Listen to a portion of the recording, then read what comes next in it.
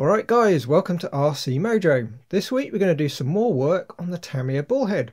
We've got the stock build complete now, so it's time to start on the mods. The stock chassis is an old design meant for a 6-cell NICAD pack. They run across the chassis using the end caps to hold it in place. As a system it does work, but it's really not the best looking. Also, modern LiPo packs aren't always a very good fit. So we're going to change around the chassis to fit these 5 amp hour 2S LiPo packs. And while we're at it, we're going to swap the stock single ESC for two Tamiya TBLE02s. For now, we'll just stick with the brushed motors, but these ESCs will run sensored brushless motors in the future. Another little niggle with them though, Tamiya say they're only for NiMi packs, but there's a fairly simple, albeit fiddly mod that you can do to make them LiPo friendly. Not too surprisingly, we've got a few 3D printed parts to make all this work. First is a set of parts to blank off all the holes we no longer need in the chassis. We've got switch blanks and blanks for the battery holes. And lastly, we have a new electronics tray and battery holder to bring the battery inside the chassis to really clean up the appearance. With any luck, by the time this video is live on YouTube, there's going to be some links down in the description for files on Thingiverse. Okay, before we start fitting things, we need to take the stock parts off the chassis. For the electronics tray, we need to remove the receiver, of course. We stuck it down with servo tape, so it's easy enough to carefully pry off with a small screwdriver. The tray itself needs its four self-tappers in the corners removed, and then we lift it out of the way so we can get to the power switch and remove its two M2 screws. Now as we lift the tray away we disconnect the motors from the ESC and we're left with a rather empty looking chassis. We're not quite done yet though, we need to unclip the battery cap from this side and from the other side we need to remove the four screws and nuts holding the other battery cap on the chassis. And there we go. Now all we need to do is block up all those unsightly holes. First is a blank for the old power slash economy switch hole. It offers up from the back and we use a pair of M3 by 6s or 8s to screw it on. It's got a square that sticks out so it ends up fitting close to flush to the outside surface.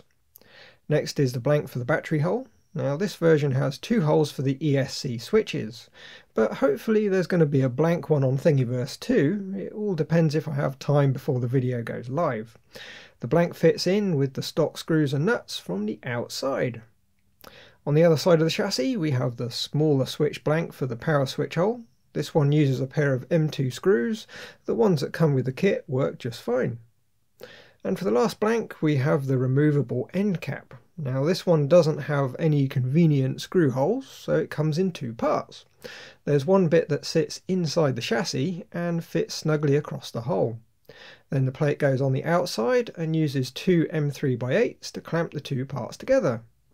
And that's about it for the blanks. You could print them in red if you really wanted to hide them, but I quite like them in black. They're kind of a nod to the old stock setup, but still make the chassis a bit less lumpy. Next up, the electronics tray. Now it's in two parts, so there's a nice slot to fit the 5 amp hour LiPo underneath. The tray has a set of recesses to fit two TBLE02s and a 6-channel FlySky receiver. There's another version to fit an 8-channel that'll be handy for other types of radio too. The recesses are there, so when we stick down the electronics, they're going to end up perfectly square. Remember, this truck's going to be more about its appearance than performance, so every little helps. The battery holder sits under the tray and gets attached with six M3 screws. The length isn't too critical, anything longer than 12mm will do, as long as they don't go all the way through. Here, I think I used some M3 by 20s. The end of the electronics tray with the lump on it matches up with the open end of the battery holder. Now to stop the battery falling out, we have a little lever that just swings down. To attach it, we use another M3 screw. Again, the length isn't critical, and we also use a pair of washers. A nice one with a large outside diameter is good for going between the lever and the mount, but a bog standard GP one will work just fine too.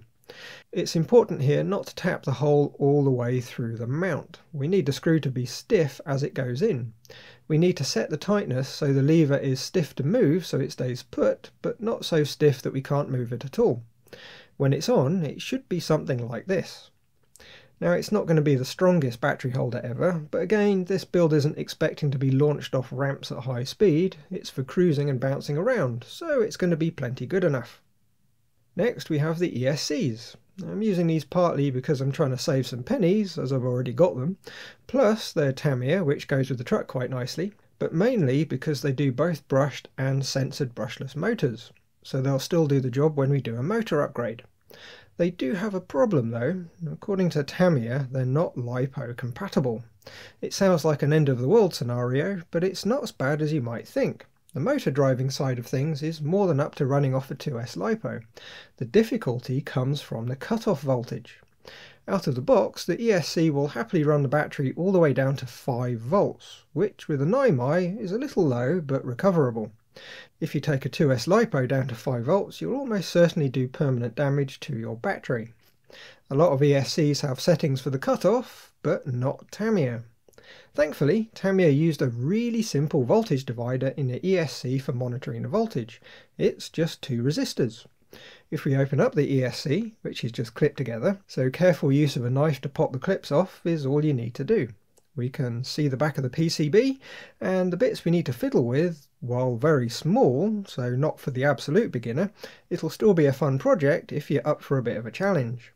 Now I'm not going to detail this mod here as Laneboys RC has a great article and video already, so I'll link to that in the description. In essence, all that needs to happen is we add an extra resistor between the centre of the divider and a ground point. Now because we've got two of these ESCs to play with, we can do a nice little experiment. Here we have one ESC modded and the other one still stock. That means we can hook them up and see what the cutoff voltages do. To connect the two ESCs to one battery, we need a Y lead. Really easy to make, or if you search eBay, you can buy one ready to go. Just make sure the connector genders are the right way round. We need to plug the ESCs in one end and connect the other end up to our power supply. For now, we'll just lay the bits across the chassis just for testing. Connect up the motors, connect the ESCs to the receiver, remembering to disconnect the red wire from one of the servo plugs. We don't want the two BECs to fight each other. Now I'm using two channels on the receiver for the ESCs, one each. The upgraded firmware on the GT3C has a dig mix feature which lets us select rear, all and front wheel drive. There's not a whole lot of point on a monster truck, but it's still going to be fun to play with. Anyway, now it's all connected up, we can test the cutoffs. With everything switched on and working, I'm going to apply a little bit of throttle to get both ESCs running. Then very slowly turn the voltage down, simulating a battery going flat. Okay, at around 6.5, 6.4 volts, our modified ESC cuts out. A nice extra safe voltage for LiPos. As we keep going, eventually the other ESC cuts out at just a touch over 5 volts.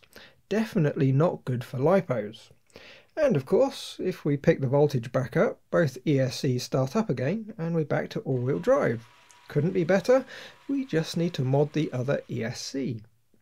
And here we go, after a bit of conformal scraping, an 0805 resistor, a bit of wire and some Kapton tape for safety, we have both ESCs modded. We can clip the cases back together and they're ready to fit. The rest of the install is typical RC stuff. We just need to clean up the tray and the bottom of the ESCs and radio with some IPA to get rid of any grease and oil so the servo tape sticks nicely. Then we just peel and stick some bits. The recesses make sure everything's nicely spaced and square so it's all nice and simple. There's also a couple of holes at the end of the receiver for the wires to go through so there's no ugly rat's nest.